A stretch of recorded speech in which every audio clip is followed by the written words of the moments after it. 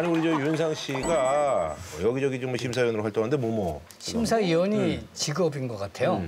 한창 때 이제 한창 슈퍼스타 K하고 어, 위대한 때. 탄생 어. 일 1차 때는 이렇게 10만 명 이상의 어떤 그런 대기업 있죠.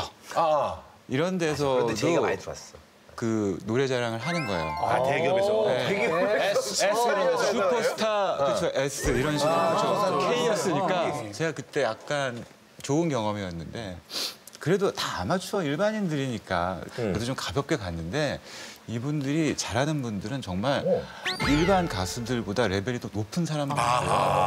그리고 지- 그게 좀 걱정인 게 회사 그런 좋은 회사인데 퇴사가 목적인 분들이 있어요. 아하 아, 윤상한테 이제 내가 어떤 윤상한테 이런 대답만 받으면 난 퇴사를 하겠다고 이제. 자기 나름대로 아 기준을 네, 각오가 마치 그래 보이는 분들. 야, 그 심사평이 어렵겠다. 심지어 퇴사 한 분도 있어요. 아, 아, 그, 어, 그 어떻게 뭐 이렇게 누가 바람 차- 낼까 바람. 네, 누가 바람 찾아와서 네. 아 저기 좀 아, 바람이 들어갔는데 좀 호되게 좀 얘기 좀 아니요, 해주세요. 그렇진 않아요. 근데 그렇게까지 거기서 이런 말하기 힘들긴 해요. 직업을 잘못 선택한 것 같은데 이런 얘기를 그러니까 했다가 했어요? 네, 그런 얘기 했다가 어. 정말 그런 분이 마음을 바꿔먹고 회사를 퇴사한 적이 있다는 거예요. 아, 그, 그 사람이 나중에 찾아와서 당신 때문에 내가 회사.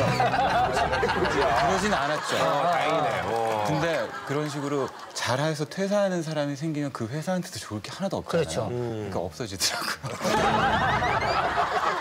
오늘 우리 저 김태원 씨가 이제 매일 그 김태원의 일기를 씁니다. 뭐 어떤 식으로 쓰죠?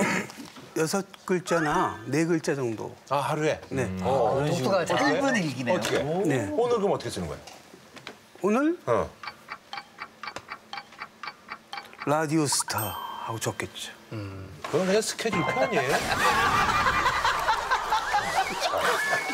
두자 더 들어가면 우리 모두 뭐야? 우리 모두의 일기는 똑같네. 다 여기 다 그러니까. 라디오 스타.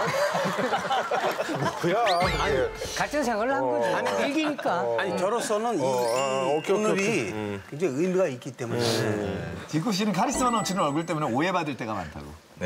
나 많이 요즘 좋아졌는데 얼굴 많이 약간 좋아졌어. 바다적인 이미지가 처음 블락비 뮤직비디오 볼 네. 때좀 셌어 그때. 데뷔 초 때부터 그리고 그 당시에는 뭐 styling에 대한 주관이 없어서 그냥 메이크업을 진하게 해주면 그대로 받았어요. 그래서 눈이 또 약간 싹 째져가지고. 네 이렇게 눈도 눈꼬리도 올라가 있고 그래가지고 최대한 그렇게 안 무서우려고 눈도 이렇게 막 눈에 힘도 빼고 이러는데 눈에 힘을 어떻게 빼나?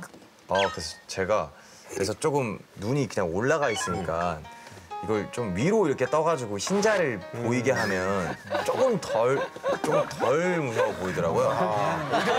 상대방에서 무서운데.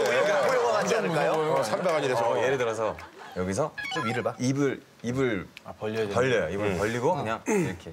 아. 되게, 되게 순박해 네 보여. 이러면 조금 순해지는 것 아. 근데 사람이 너 어디 어딜 보고 얘기하는 거야 이럴 수도 있잖아. 살짝 이렇게.